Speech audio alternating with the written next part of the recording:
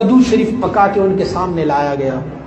तो बेटा सामने बैठा हुआ है और बाप और बेटा दोनों जो है वो खाना खा रहे हैं तो कद्दू शरीफ सामने लाया गया। जब लाया गया तो बेटे ने कहा, मुझे तो कद्दू पसंद नहीं है। तो बाप ने फरमाया, बैठो बेटा। उठ के खड़ा हुआ, आगे गया, वहाँ से तलवार उठाए और उसकी गर्दन उड़ा दी अपने बेटे। लोगों ने कहा, क्या किया आपने?